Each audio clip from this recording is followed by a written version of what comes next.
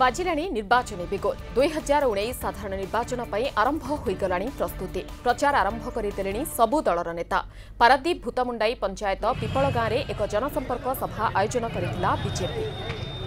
ପ୍ରଥମେ ଭୂତମୁଣ୍ଡାଇ ପଞ୍ଚାୟତର ସମସ୍ତ ଗାଁରେ ବିଜେଡି ସରକାର ବିରୁଦ୍ଧରେ ପ୍ରଚାର କରିବା ସହ ନରେନ୍ଦ୍ର ମୋଦି ସରକାରଙ୍କ ଯୋଜନା ସମ୍ପର୍କରେ ଅବଗତ କରାଇଥିଲେ କର୍ମୀ। ପରେ ଏକ ବିଶାଳ ଶୋଭାଯାତ୍ରାର ଆୟୋଜନ କରାଯାଇଥିଲା।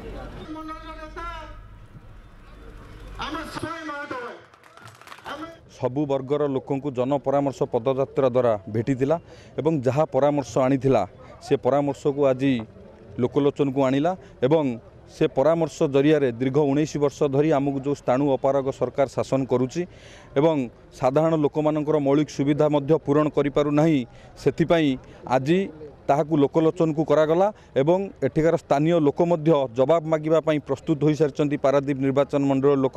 ନିଶ୍ଚିତ ଭାବରେ କହିପାରିବା ଉଣେଇଶ ବର୍ଷର ସ୍ଥାଣୁ ଅପାରଗତା ସରକାରଙ୍କ ବିରୁଦ୍ଧରେ ଆଜି ସାରା ଅ, ମହିଳା ସମାଜ କୁହନ୍ତୁ କୃଷକ ସମାଜ କୁହନ୍ତୁ ପାରାଦୀପର ଯୁବକମାନେ କୁହନ୍ତୁ ସମସ୍ତେ ଆଜି ଜବାବ ମାଗି ସାରିଛନ୍ତି ମାନ୍ୟବର ମୁଖ୍ୟମନ୍ତ୍ରୀଙ୍କୁ।